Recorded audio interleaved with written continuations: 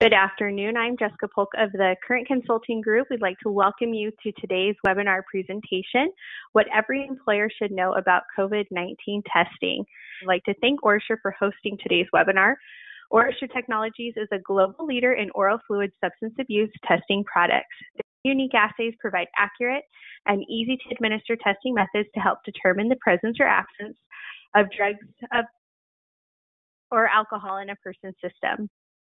The Intercept Oral Fluid Drug Test is an FDA cleared laboratory based oral fluid drug testing system that enables accurate testing for nine drugs of abuse, including marijuana, cocaine, PCP, amphetamines, methamphetamines, barbiturates, benzodiazepines, methadone, and opiates.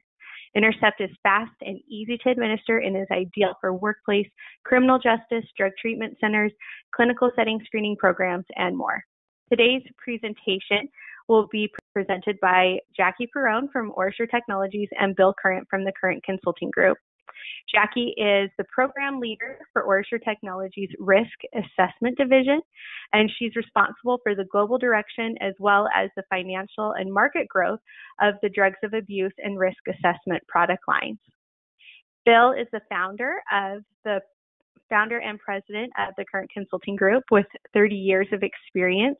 He's authored 10 books on substance abuse issues, and he is a regular presenter at conferences, seminars, workshops, and webinars, and is widely considered one of the leading experts on drug testing and the drug testing industry. And so to start us out today, we're going to turn the virtual microphone over to Jackie. Thank you very much, Jessica. Um, and welcome to everyone who's joining us this afternoon or this morning, depending on what time zone you're in. Um, so the presentation today is going to go through a, a, number of sections, uh, all really related to, to, COVID testing, especially in the workplace. Um, so first, we're going to talk about COVID-19 testing methodologies. Uh, then we'll kind of work into testing specimens. Uh, we'll talk about best practices for sample collection. Um, and then if you decide that uh, COVID testing is something that you'd like to start thinking about, um, we're going to tell you how to get started. And then we'll also end today with the CDC safe practice guidance. Um, so with that, we're going to start um, with COVID testing methodologies. Um, one of the things that I'd, I'd, like to kind of talk just briefly about before we start getting into the actual types of tests is about coronavirus, COVID-19, SARS-CoV-2. Um, they're all, in, in, many cases, you'll hear one versus the other, sometimes all three. Um, so I wanted to just back up a little bit and talk a little bit about the science. So coronaviruses are actually a large family of viruses that are common in people and sometimes in different species of animals. Um, rarely, um, some of those animal coronaviruses can infect people and then spread uh, can infect um, animals and then spread between people, as we've seen with MERS and SARS a couple of years ago. Um, so SARS-CoV-2, it's kind of our new, what they're calling novel coronavirus, and that's responsible for the current pandemic. We also call it COVID-19, um, and if you're not familiar with how COVID-19 came to be, um, 19 signifies 2019. Um, so the first cases were actually seen in Wuhan, China back in December of 2019. Um, although as they've gone back and kind of done some tracing, they have actually found this particular virus in other places a little bit earlier than that, but still in 2019. So that's the, the kind of the term COVID-19 where it came from. Um, so now when you think about different types of tests that are out there, um, so you hear people talk about viral testing and antibody testing. So we're going to talk a little bit about each one of those. So there's actually two types of viral testing. Um, there's something called PCR and there's antigen testing. So PCR actually is a short short-term name for something called RT-PCR, which is reverse transcriptase polymerase chain reactions. That's a very long word, a couple of words to say. Um, so you'll hear people just usually refer to it as PCR. Sometimes you'll hear them say RT-PCR, um, and sometimes PCR. Um, this is a laboratory technique, um, so this is not a point of care product it's it, or test, it's actually a laboratory technique, um, and it's really looking for the virus RNA, um, and it looks for pieces of the SARS-CoV-2 or the, the COVID-19 virus. Um, and typically you'll find that in the nose, in the throat, and also other areas of the respiratory tract. This is really to see if somebody has a current infection. Um, also looking for current infection um, is antigen testing. It's a little bit different than PCR um, because it looks, rather than the actual virus itself, the RNA um, of the virus, it looks for pieces of the proteins that make up the virus. Um, again, looking for active, uh, active infection. Um, and these type of tests, the antigen tests can be laboratory based and sometimes point of care, although both for PCR and antigen testing, the rule of thumb pretty much at this point is most of these types of tests are laboratory-based tests.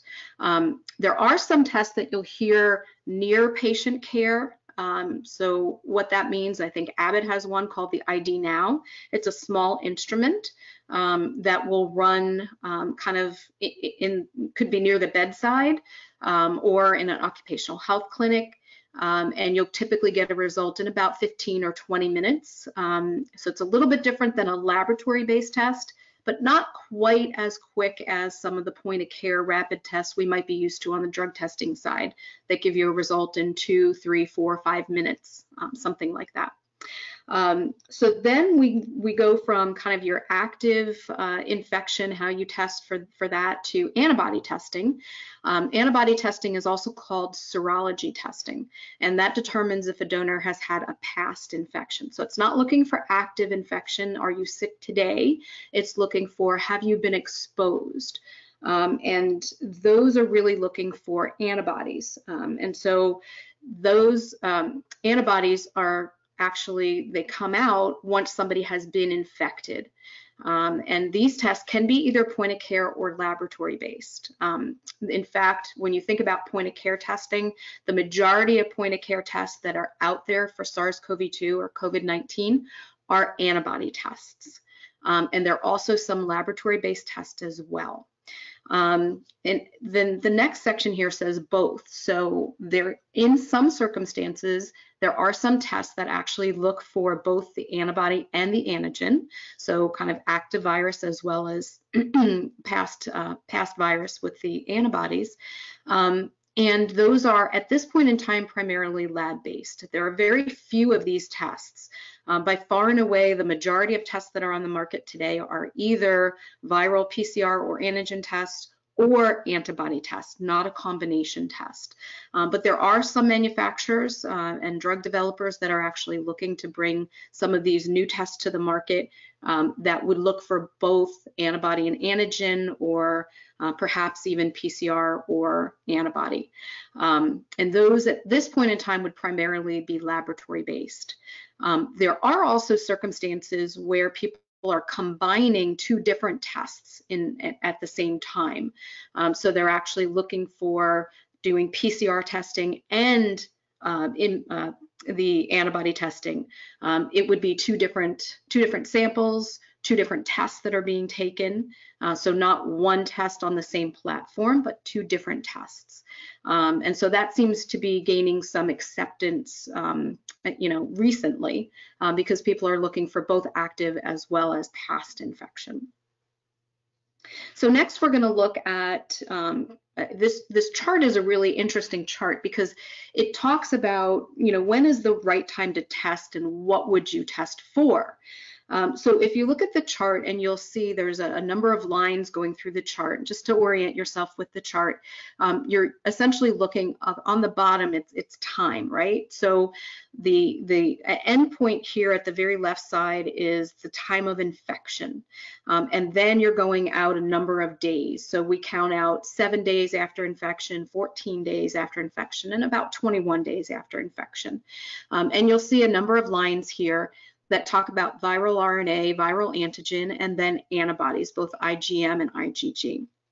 And so what happens when you're first infected, again, you know, when you think about PCR testing, that's actually looking at your RNA, um, and that shows up first. So in, in some people, um, the virus is going to show up very quickly within a matter of a couple of days. Um, and in other people, it may take a little bit longer. And so that's why you see it's kind of a, a bell-shaped curve. Um, so what you're looking at is you're looking at doing PCR testing um, in the very beginning stages of when someone is someone is sick. And you'll notice as you look at that bell-shaped curve, by the time you get to about 14 days, it starts coming down. So it's really important to understand how how far along someone is within their infection as to what you're going to test them with. So if you start with a PCR test, um, if it's too early, you may not, somebody actually may not have active virus. So they may actually have a PCR test that comes out negative when in fact they are infected. And that's why sometimes you'll hear people talk about uh, the fact that, oh, wow, I, you know, I think I got reinfected. Um, it could very well be that just their body alone um, did not actually show the RNA right away when when the test was done. And if they had waited a few more days, uh, they would have picked up a positive test. Um, also very similar, many of you are aware of, of, drug testing, very similar to what we call cutoffs in drug testing, where you set a specific cutoff. Um, with any laboratory-based test or any point-of-care test, there's always there that, that cutoff level that says, where is my positive and where is my negative? So it could also be that that particular test cutoff level, that person may have been positive, but not positive enough to trigger a positive result. Um, Antigen tests, and you'll see that's kind of, that's the red line here, they start a few days later. Again, because you're not looking at the actual RNA, you're looking for pieces of the virus. Um, so it typically starts within about three or four days of someone being infected, um, but you can really start to pick up viral antigen probably at about the seven, seven to eight day mark. Um, and then you'll also see a very similar drop off as you did with the viral RNA at about the time that both the viral tests drop off, you'll actually start to see antibodies increasing. And so you see here, um, there's IgM and IgG antibodies. So IgM antibodies actually stand for immunoglobulin, that's the IgM. Um, and then IgG um, is another form of Im immunoglobulin, um, and that's I, that's called IgG. Um, some of you may be aware also with drug testing, if you're looking for specimen validity testing, we also call that an IgG test. Um, so it's amazing how many differences, or I'm sorry, similarities there are in, in some of the, the drug tests that we normally see into other tests like infectious disease testing. Um, so you're looking for IgM and IgG, and one of the things that you would want to be concerned about if you're thinking about an antibody test as is what that antibody test is actually looking for. Um, is it looking for what we call total antibody, and that includes IgM and IgG antibodies, or is it looking for something more specific? Um, in this particular case, there are specific tests for IgG antibodies. There are also specific tests for IgM antibodies. So as you're thinking about, you know, possibly looking at antibody testing, something you want to be thinking about is what do I want to detect? Do I want to detect almost like a class. You know, when we think about opiate drug testing, we think about the class of opiates. You're kind of thinking about it in the same way here. Do you want do you want a broad class that says I'm looking for any antibodies? And that would be IgG and IgM. Um, or do you want to be very specific and only look for the IgG or the IgM? Um, and that'll tell you what kind of test. Um, so the next slide is going to talk about when you're thinking about testing, when when would you want to test? Now let's talk about active virus here. And so this is going to be viral testing. So this will be either your PCR or your antigen type of test. Um, so you're in the workplace and you suspect that there's a, a possible case of COVID-19. Um, should you test for it or should you not test for it? Um, so one of the things that you really want to consider, a couple of things you want to consider, um, is do you have a reason to believe that you or um, someone that you're working with has been exposed. Um, exposure, obviously, as we all know, we're being asked to wear masks to cut down on exposure, uh, social distancing to cut down on exposure. Um, if you feel that someone around you has been exposed either directly or indirectly, that would be a good reason to think about, I should get a test. Um, additionally, if you're experiencing any signs or symptoms, and in a couple of slides, we'll talk a little bit about what those signs and symptoms are. Um, but if you're experiencing a fever, um, typically of at least 100 or greater, um, or you've got a cough, difficulty breathing, um, some of the other classic signs and symptoms of, of COVID-19, that would be another reason to test. Um, so again, here we say if yes to any of the above, testing might be necessary. Um, and one of the things you might want to think about is if you're in a workplace situation and you've got an employee that's exhibiting, exhibiting symptoms, it may not just be that employee that you want to have tested. You may want to have uh, anyone that that employee would have come in contact with um, over that period, you know, a, a short period of time to consider getting a test. So when would you not test for a viral, um, viral, uh, when would you not have a viral test? If you've got an individual that has mild symptoms or doesn't have any of the underlying medical conditions. Um, in a few slides, when we go through the chart of symptoms, we also included symptoms for the common cold, for flu, for seasonal allergies, and you'll see that many of the symptoms for COVID-19 are exactly the same symptoms for your typical colds and flus and, and allergies and things like that. So um, that's one consideration you might want to think about is you know, self-isolation at that point may be the better course of action. Um, have that person isolate, see what happens uh, as far as if their symptoms progress, and then proceed to a test. So the next slide, um, we're going to talk about some of the pros and cons of viral and antibody testing. Um, so when you think about, you know, there's lots of pros and cons um, to any kind of method that you might be thinking about. Um, obviously, the, the biggest pro to viral testing is you can detect the virus before the individual has some, some symptoms. Um, maybe not in all cases, um, but most cases, people are going to start um, actually shedding virus before they start feeling really bad. Um, and so that could be a very good reason to, to start testing people. Um, they're easy and quick to administer. Um, and instant results are possible, although, as I said before, the majority are, are laboratory based. Um, one other thing to, to, consider when you're thinking about antigen testing, and again, this is there's a difference between PCR and antigen. Um, PCR testing typically is more expensive than antigen testing. Um, PCR, the way you need to do a PCR test is very, um, very complex. Um, think about it in the drug testing world like doing a, a, regular screening test and then doing a confirmation test. We all know that confirmation testing um, takes different instrumentation, um, it takes longer to do, it's more comprehensive um, and it's more complex. And that's kind of how you should think about PCR testing.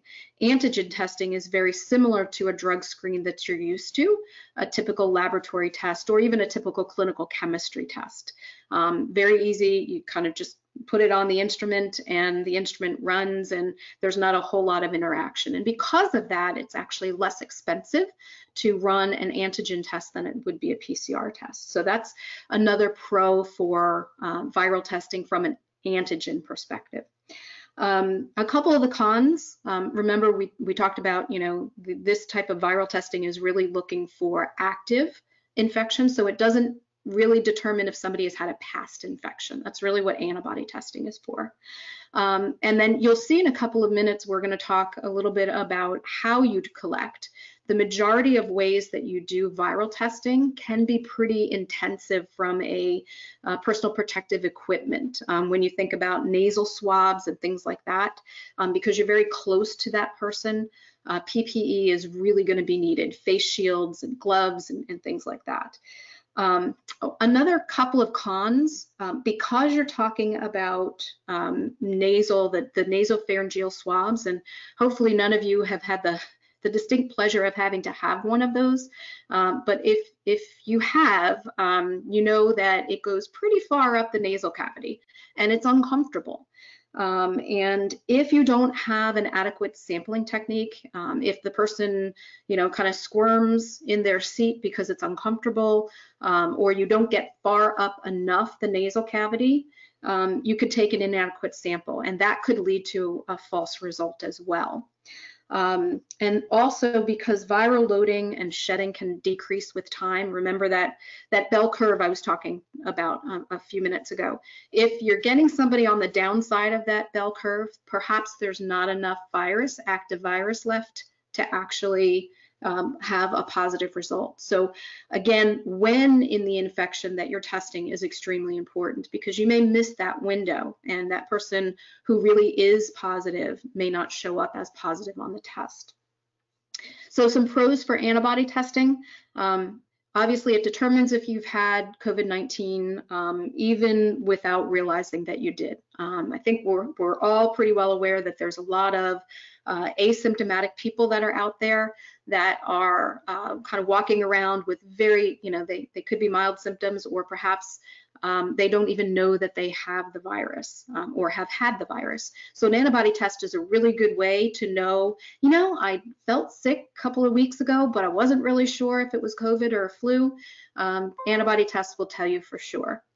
Um, it really gives a true um, impact and analysis of, of COVID-19 um, it can help determine when the illness has occurred so that we can know, and we know that because we, we can track back with IgM and IgG kind of when that would have happened.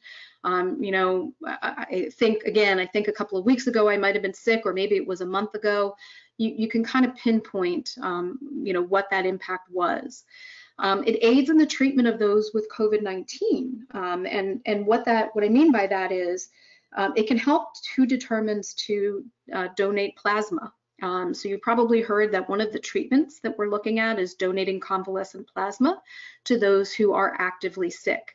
So if you've got the antibodies, that those antibodies can be used in that plasma to help people get better. Um, some of you may remember, um, I think it was back in 2016 when we had the Ebola scare. Um, there were a couple of um, people that were treated with convalescent plasma from those who had actually gotten, um, who had recovered from Ebola. So it is a, a good method. Um, also, if, if a number of people um, in a community take the test, it can help public health leaders and researchers know what percent of the population has already had the virus. And that's really important when we start looking at prevalence rates. Um, I know we're not going to go into a lot of detail here around accuracy, um, but you may hear, hear terms like um, positive predictive value, negative predictive value, PPV, NPV, or uh, what they're uh, they're short for, um, and those things, your sensitivity, specificity, how well the test work, in many cases also depends on how many people within the population have already been exposed and sick. Um, so it's a good way to, to know that. Um, also potentially could help with vaccine development. You know, we're, we're, every day, I think we hear something in the news about another clinical trial that's, trial that's starting and vaccines that are being developed. Um, you can't have vaccines without people that have antibodies. So antibody testing is really important for that. Um, and another pro is there are both lab-based and point-of-care options available. Um, so that's that's a good thing.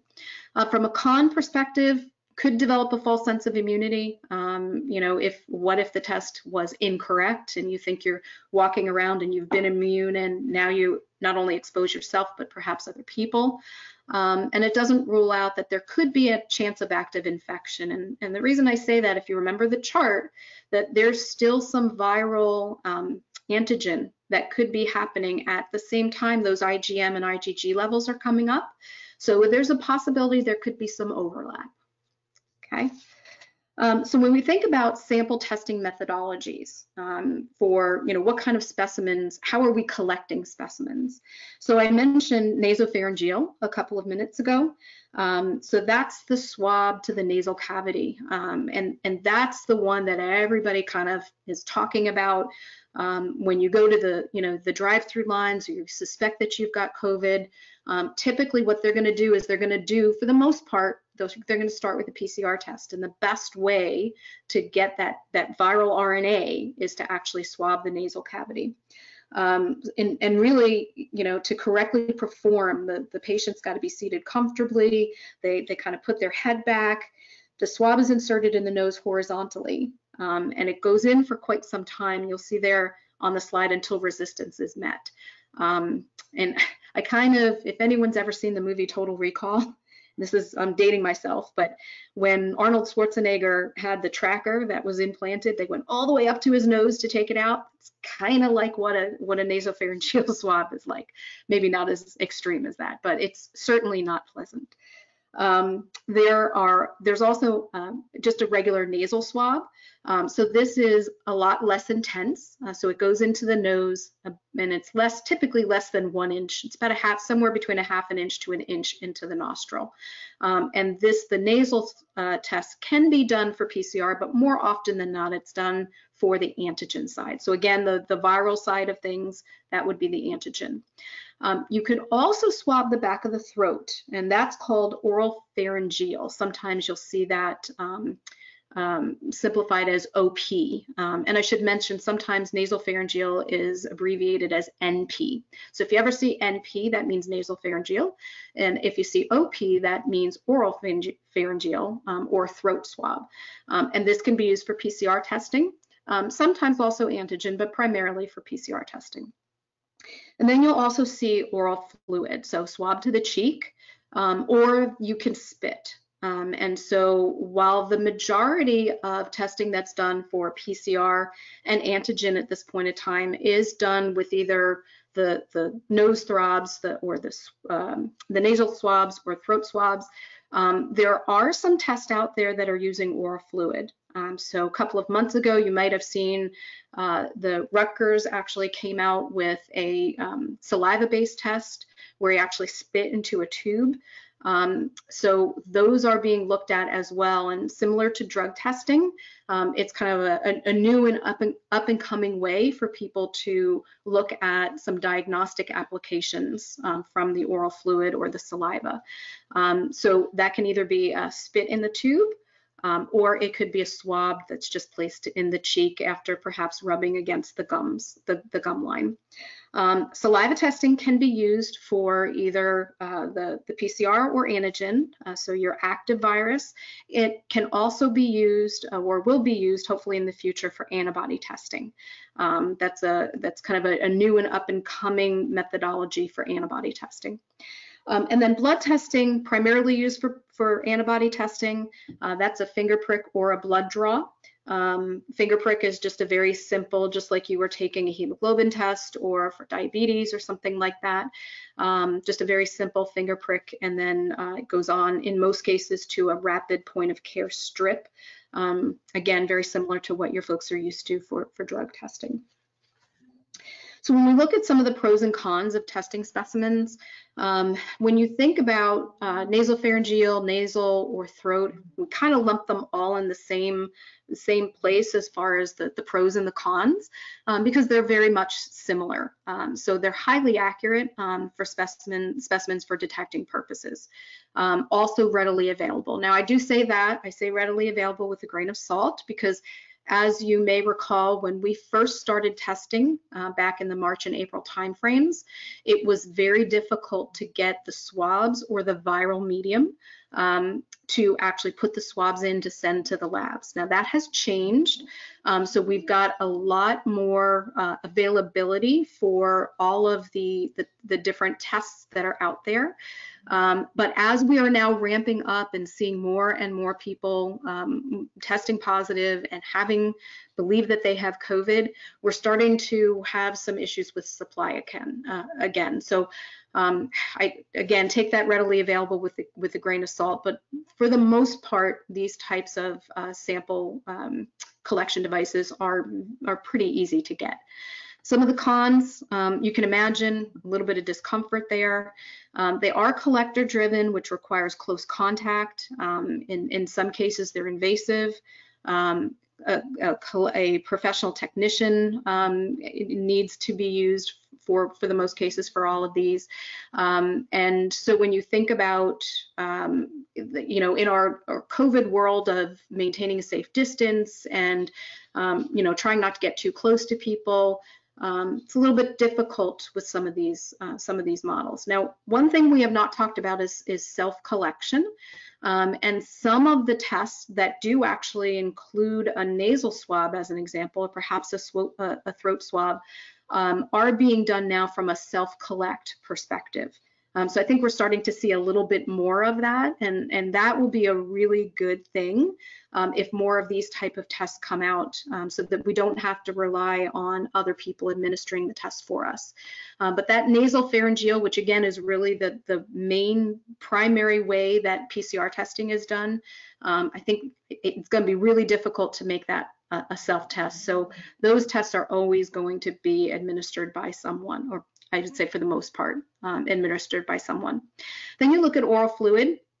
So same thing we talk about on the, the drug testing side. Um, it's it's quick and easy to administer, um, whether you're spitting or you're collecting uh, with a swab. It's usually just a couple of minutes uh, from a collection perspective. Um, it's non-invasive. The person does it themselves. Um, it's a donor-driven process. Um, and the accuracy is comparable. The studies that we've seen, um, the, the Rutgers product and, and, others out there, show that it's comparable to nasopharyngeal.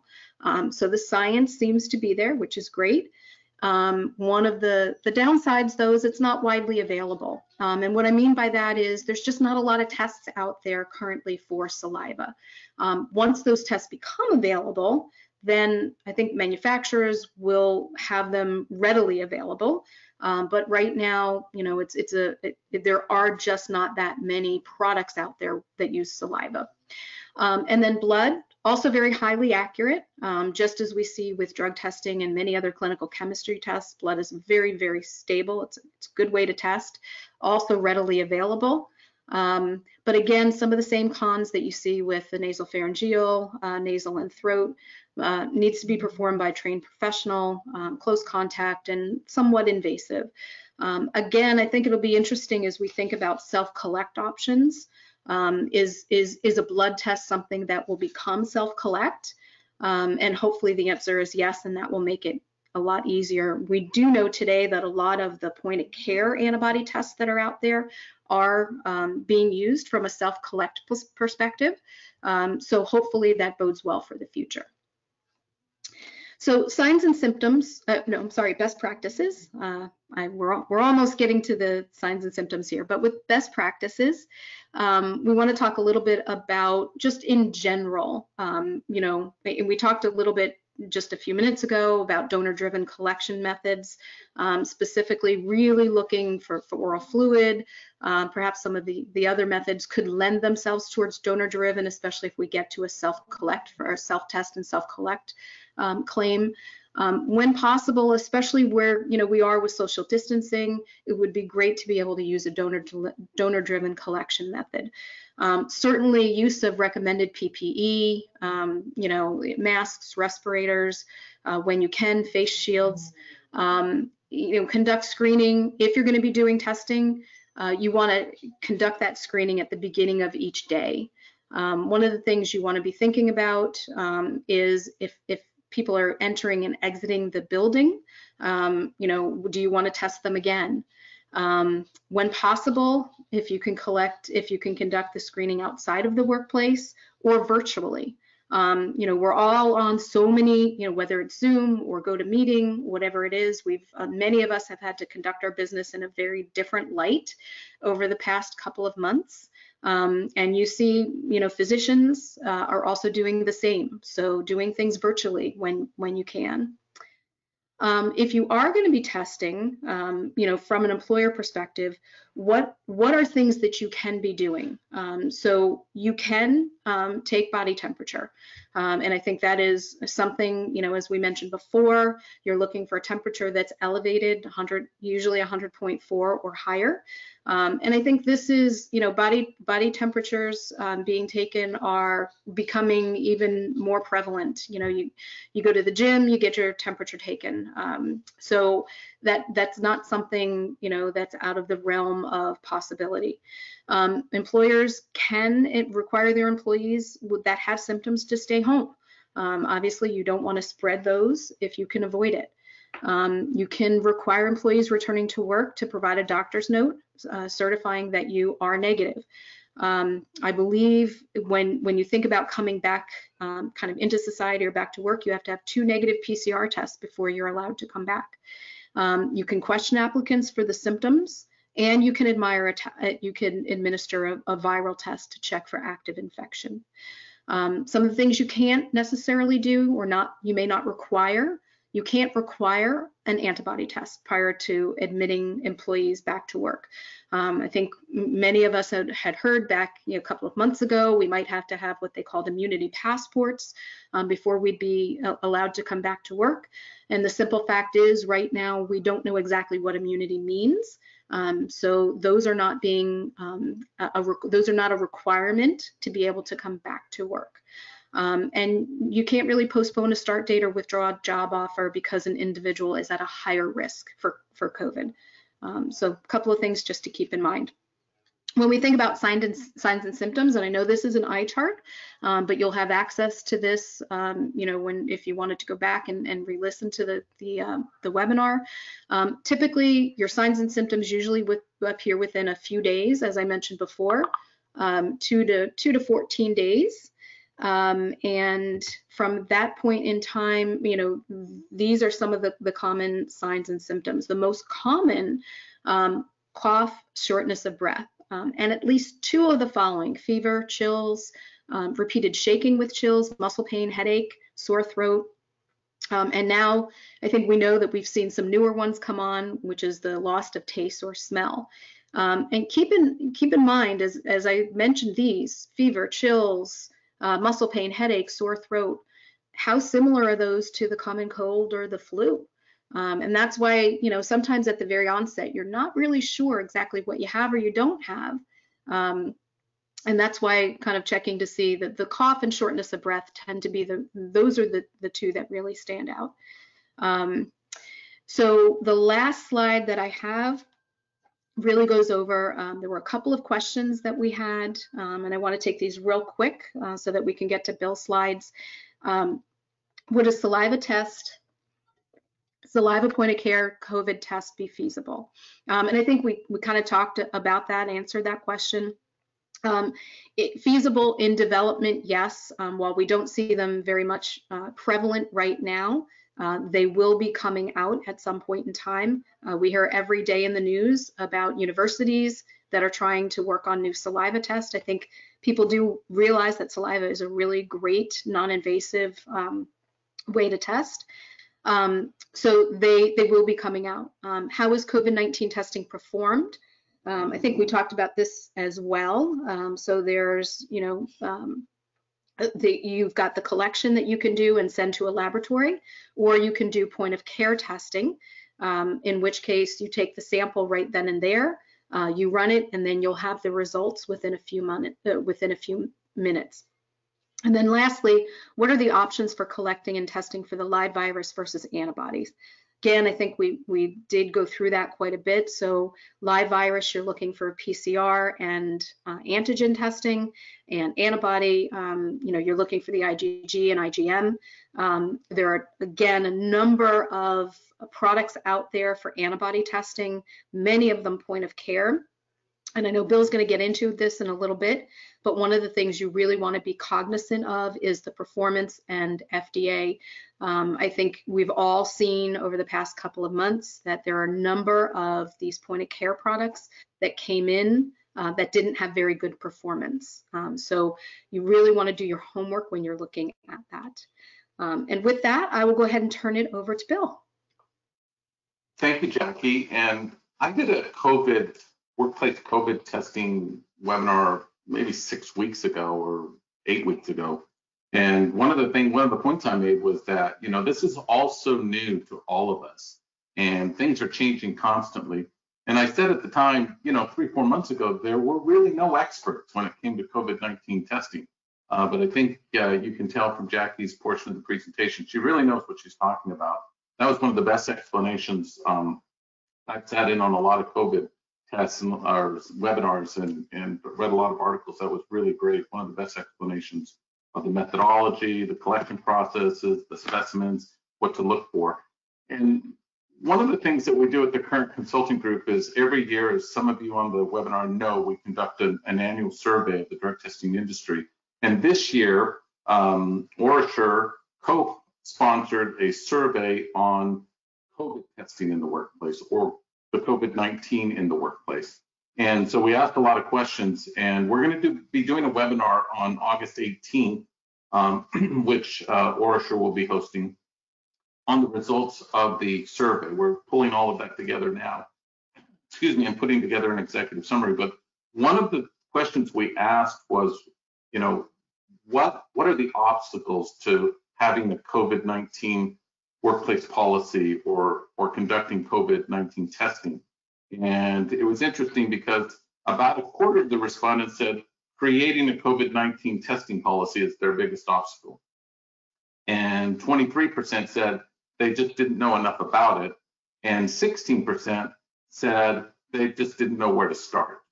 And so typical of companies that are trying to launch a drug testing program that have never done it before, they just need help getting started. And so we're going to talk about a few basic things here that are really important to understand as you contemplate, you know, reopening your workplace or helping your clients reopen their workplaces and addressing the whole COVID-19 pandemic and what their post-pandemic, hopefully we'll get to a post-pandemic era at some point, what a post-pandemic workplace would look like vis-a-vis COVID-19 testing.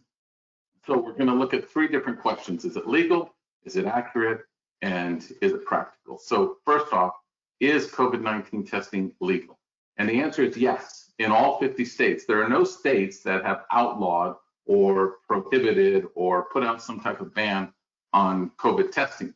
Now, we know this, and Jackie made this very clear, that not all testing methods are permitted under every situation, nor are they an ideal match for every testing situation. So you go back to some of the slides that Jackie just shared with us, and you match the testing method with the situation to make sure that you're getting the right return on your investment for that particular testing method in that particular situation.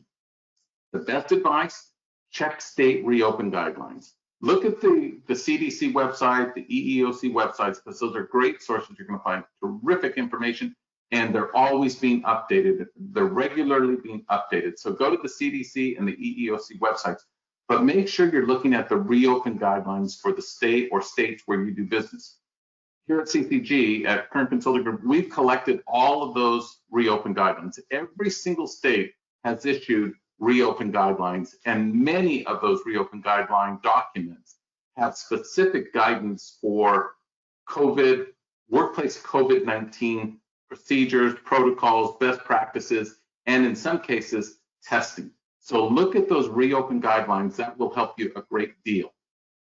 Is it accurate? Well, of course, we just heard from Jackie that it is accurate, but not all testing products are created equal.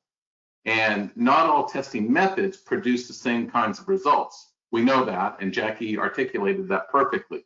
So whether you're looking for testing um, um, a methodology, testing for active infections versus past infections or the presence of antibodies that may give the indication of a past infection, the different testing methods produce different results and give you different kinds of information The best device, and this again is repeating something Jackie just said, is look for a, a device or testing system that is either FDA cleared or has an FDA issued emergency use authorization.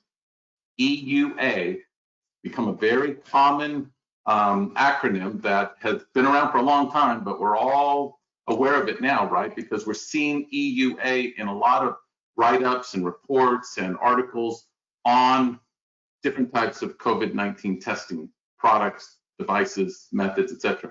Best advice, just like when it comes to drug testing, you're looking for an FDA cleared testing system, whether it's a collection device in, in or the actual laboratory testing that's going to take place, or an FDA issued emergency use authorization. Okay. Keeping in mind as well that there are differences, just like with drug testing, there are significant differences between lab based and POC testing devices it's not to say one is better than the other in all circumstances, but just be aware that it's not always apples to apples. Sometimes it's apples to pears or apples to oranges, but there are differences between lab-based and POC testing, okay? So you wanna make sure that you're looking at those very carefully. And look for a device's product insert, okay? The device's sensitivity level, it's a, it's capacity to produce a true positive, and its specificity level, its capacity to, pr to produce a true negative. That's very important, and that information will typically be found in the product insert that comes with your testing device. So look for that. Be aware that the FDA minimum requirement is 95% specificity and 90% sensitivity. So if you're looking at that product insert and you're looking specifically at its sensitivity level and its, its specificity level, those are the minimum requirements that you want to look for. Now, just like with drug testing, you're going to have a policy statement. Absolutely, definitely make sure you have a policy statement before you start conducting workplace COVID testing. Again, you can find some great guidance on that at the EEOC website, at the CDC website, and very specifically, can't stress this enough, at your particular state's reopen guidelines. But your policy is typically going to cover four main areas. How you're going to conduct COVID testing, when you're going to test, who's going to be subject to testing, and how often you'll conduct testing. So won't repeat all the information about viral versus antibody and the different testing methods, but that's got to be explained in your written policy. And when to test, there's lots of different circumstances, right? Again, you'll find guidance on this at the EEOC website. For example, the EEOC website specifically states that pre-employment COVID testing is permitted as long as it's not discriminatory in any way. So in other words, if you're going to conduct pre-employment COVID testing, which is a good idea, make sure that every applicant is subject to pre-employment COVID testing and not just certain ones. You can't make it sort of a reasonable suspicion pre-employment COVID test. You can, under some circumstances, conduct pre uh, random. Pre-duty would be testing people before they come to uh, before they gain access to the workplace, and very importantly, return to work. Now, in the drug testing world, a return to work test is when somebody's coming back to work having uh, been on a leave of absence to take care of a substance abuse problem. In this case, it's somebody coming back to work after being at home, being in self quarantine, and making sure that they're coming back to work and being tested to make sure that they're negative before they come back in. Remember, Jackie talked about getting some type of written note or um, uh, report from the doctor to show that you've had at least two te uh, negative test results. Who test? Again, all applicants or no applicants, but you can't be discriminatory.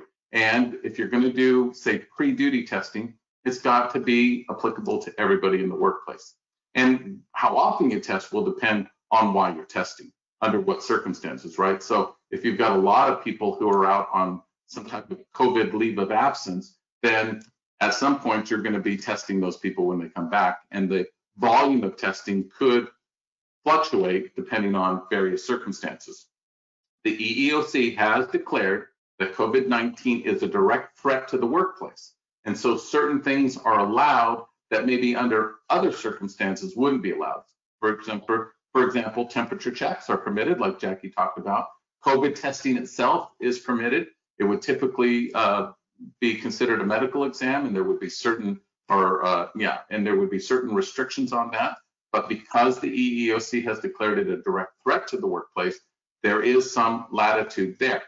Very importantly, though, make sure that you check those EEOC website updates on a regular basis because they could at some point change uh, the status of COVID testing. I don't see that happening anytime in the near future, but possibly it could happen, you know, at some point, and you're going to want to make sure that you're up to date on that.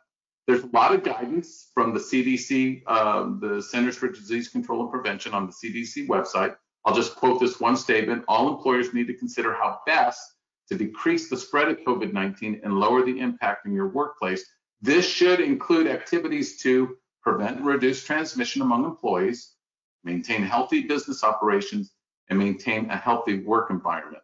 And so some common sense things, right? Like, like washing your hands on a regular basis, encouraging sick individuals to stay home and not come back until they're feeling better.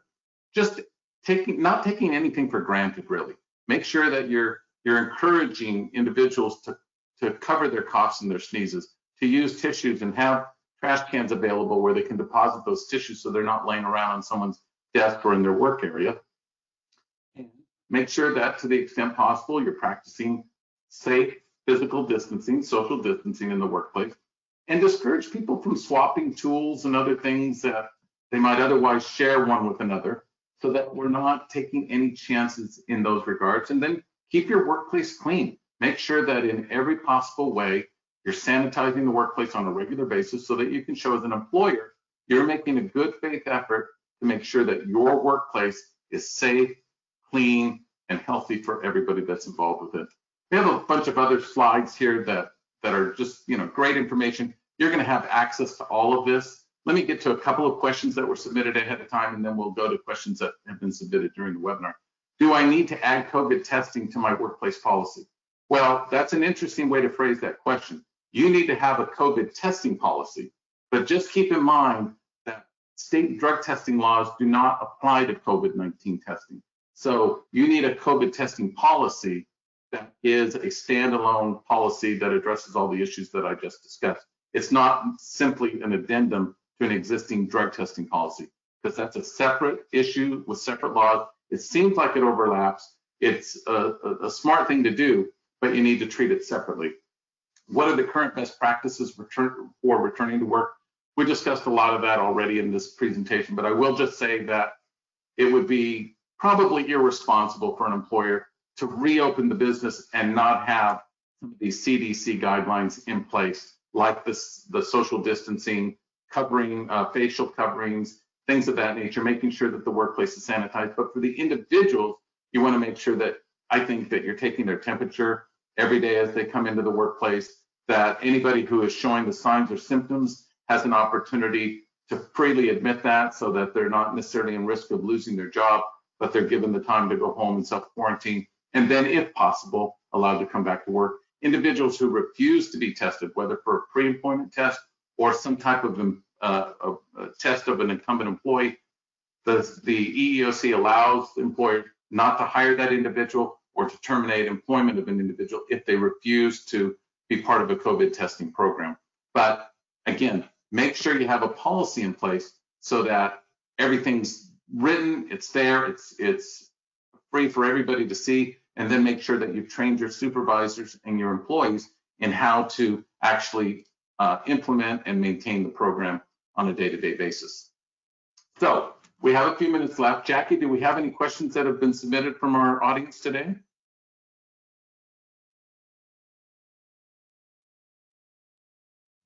Are you there, Jackie? Yep, I, I apologize. Can, can you say that again, Bill? Yeah, any questions uh, from our audience that uh, we haven't covered already? Uh, so I know Jessica was monitoring the questions. There was a comment that came uh, that was talking about uh, that the Gates Foundation provided some research that independently verified by the FDA that swabs from the front of the nose were as accurate as a deep sinus cavity swab, so those NP swabs I was talking about. Um, and that's that's great news because as I mentioned, um, you know, those those deep nasal swabs are very, very um, uncomfortable for people.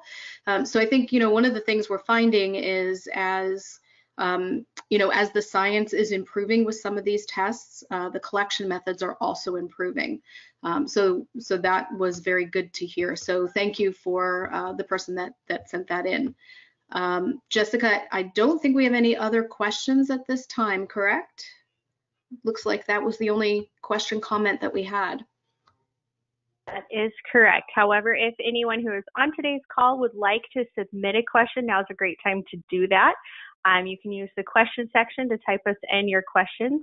And of course, if you don't have any questions right now, but as you review the recording, you have other questions, I know Bill and Jackie would be happy to address those questions offline. Yeah, and, and Jackie, let me just add at this point that um, you know, we're going to be doing the COVID-19 in the workplace survey webinar on August 18th. One of the things that we did with this particular survey is that we, we created two separate tracks. So at the very beginning of the survey, and we may have some people on the line today who participated in the survey because we had hundreds of respondents. Um, at the beginning of the survey, you identify yourself either as an employer not in the drug testing industry or as someone who is a provider of drug testing services. And then it would take you down two different sets of, of questions. So it was like doing two surveys at the same time. So what we're going to be doing on the 18th is we're going to be presenting results from both the employer side of the survey and from the provider, I'll say, the provider side of the survey. So you'll get kind of a unique perspective on what employers are thinking versus what providers are thinking. And we ask questions along the lines of, um, you know, drug testing practices, of course. Um, how has the pandemic affected the type of testing that you do, the type of alcohol testing method that you utilize? Are you, um, you know, looking at alternative specimens like lab-based oral fluid testing? We saw a significant percentage that have either switched to or have added oral fluid testing to their um, testing program simply because it's been challenging for some employers to find traditional urine collection services. And another thing that we found very interesting, just to, to tease our audience a little bit for that, that survey that's coming, or that webinar in August, is that a growing percentage, and you kind of referred to this, Jackie, as we're making, um, you know, sort of altering the way that we do business, uh, uh, an interesting percentage of people indicated that they have been utilizing what's sometimes called telehealth collections uh, or remote video observed collections with some type of a, a video platform like Zoom or or um, or Proof, for example. That's one that's out there. So we're seeing a lot of companies doing what they have to do, uh, making whatever changes and alterations to their program to to keep going. And of course, um, one of those things is the fact that they're looking at alternative testing specimens, not because there's anything wrong with urine testing, of course, but it's just challenging in some ways to get that done. And, you know, an interesting question for you, Jackie, as we come to the last few minutes here is, you know, what impact has have you and your company seen as a result of the pandemic? And what does the future look like? What do you think? Uh, Bill, do you mean as far as drug testing or as far as COVID testing? Well, both of them, but you know, sort of we're dealing with the drug testing industry. So how have you seen the pandemic affect that vis-a-vis drug testing and or COVID testing? Yeah, so I think you know most most everybody on the in the audience uh, today probably would not argue with this. We've we've certainly seen a, a decrease.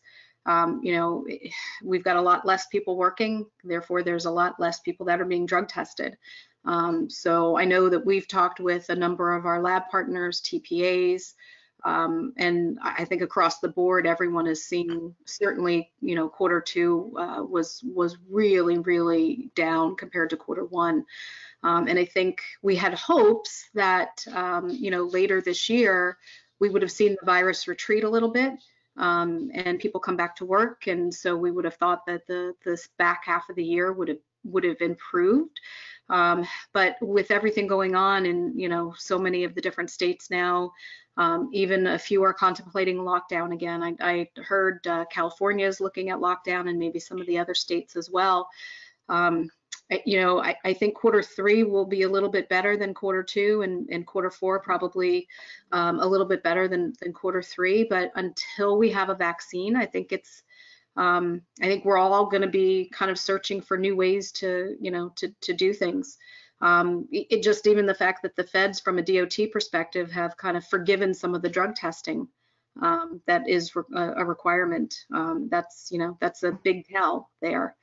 Um, and as far as COVID testing is concerned, um, you know, I, I think I think we're going to see COVID tests um, become more and more um, convenient and and kind of more to the point of care. I think the whole self uh, self collect um, is going to be kind of the next wave. Um, you know, one of the things that I think uh, we have been talking about a lot is um, there's so much testing that's going to be required, uh, whether it's for active or active infection or for antibody. Um, you talk about, you know, the, the kids going back to school. That's the, the, the biggest thing. I mean, it was nursing homes, and and clearly we can't take our foot off the gas there. But um, you know, we've got to figure out how we're going to get these kids back to school safely.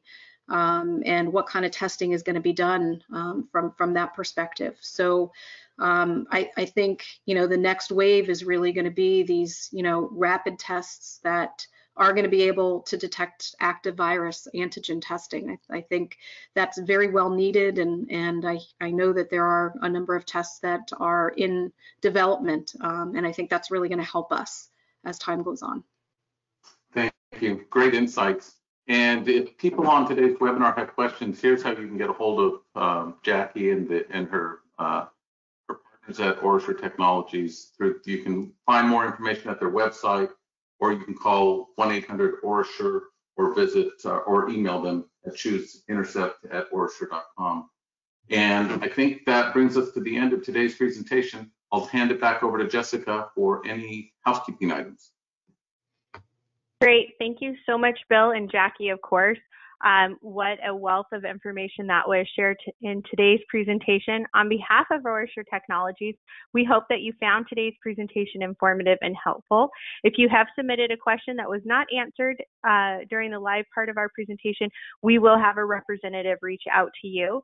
This presentation was recorded and you will receive information on how to access the recording. We'd like to thank you for your attendance today and this concludes today's webinar. Have a great day.